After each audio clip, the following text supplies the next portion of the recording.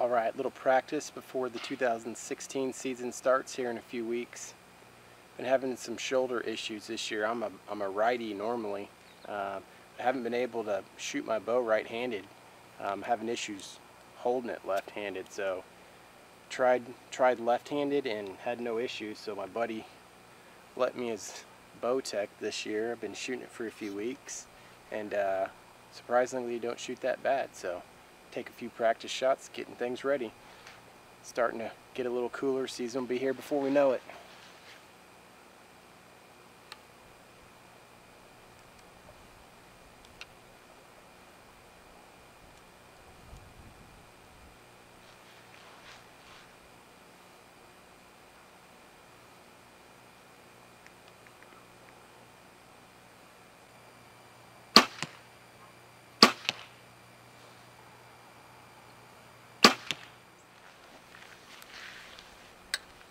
Not too shabby. All right, October 9th, second weekend of deer season here in Texas. I'm heading back to the deer lease where I hunted last weekend. Gonna go to a new spot. Was out there yesterday. We uh, set up a new spot in the back.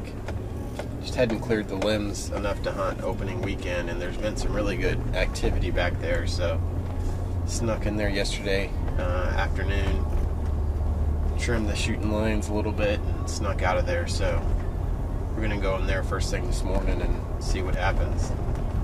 Got some nice mature bucks hitting that area, so wind should be perfect north.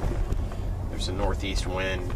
Wind will be right in our face, blowing to an agricultural field behind us. So I think it's to be a good spot. Nice and cool again this morning for early October, 60 degrees. So movement should be good. We'll see what happens. Excited again. 2016 season. Let's kick it off nice and early like we did last year.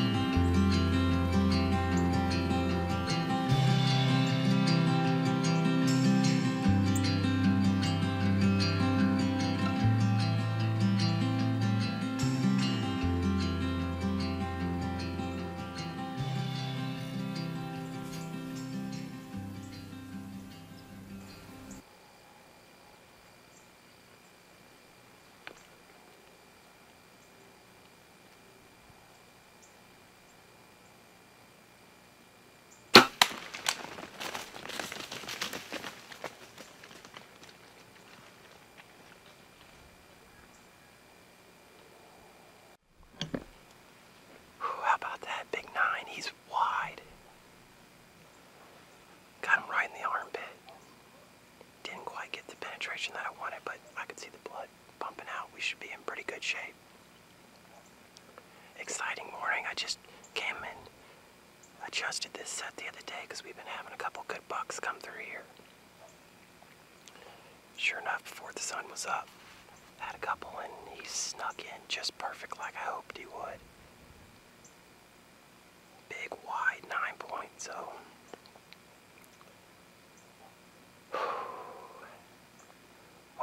begins. I'm gonna I'm gonna give him plenty of time.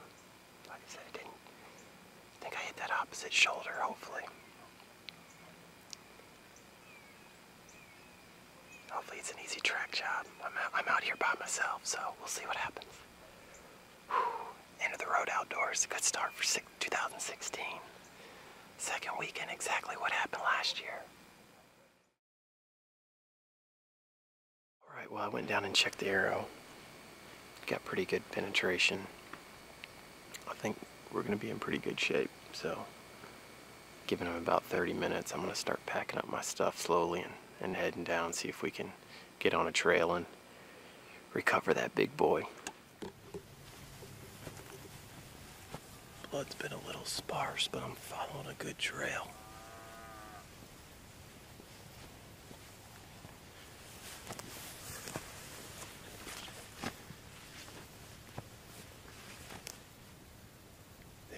Is. There he is.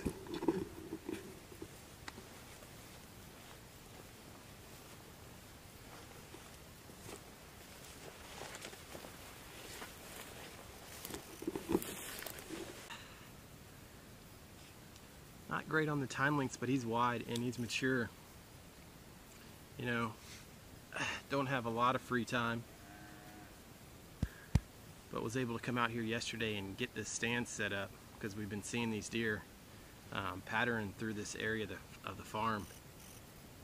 And uh, man, just like last season, quick setup and uh, quick hunt. I mean, it was great. So he's he's not going to break any records, but uh, he's a mature deer, and that's that's our goal out here on this ranch is, is shooting mature deer. So I'm gonna get going on getting him set up and clean him out and get him back to the house. Had a uh,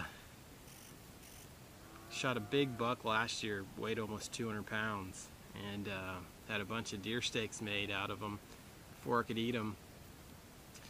Uh, we lost power and didn't realize it, and freezer uh, didn't kick back on and lost all the all the meat. So this will help fill the freezer for the year. Well, here he is. It's got a huge body on him. This guy was not easy to drag out of the woods by myself. But uh, seen him on camera a few times. Didn't have a great stand set, so I came in yesterday afternoon, made a quick adjustment, let it sit overnight, and then came in first thing this morning. He popped out. Had five or six little bucks there. He was definitely the old mature buck out of the group. Won't score great, but uh, you know it's all about shooting mature deer. it's been an interesting season for me. I hurt my shoulder a few months back and haven't been able to. Uh, I'm a right. I'm a righty. I haven't been able to draw my bow back, and uh, my good buddy George Zedan lent me his old Bowtech, 15 euro Bowtech. Did the trick. Thanks, Georgie. Really appreciate it. It's all about having good friends. I don't know what I would do if I if I wasn't able to uh, use your bow, so I appreciate it. Thank you. Well, I'm gonna get him cleaned up into the ice chest, back on home. Got a lot of season to go too. Excited about that early October. Wait till the rut picks up. Here we go.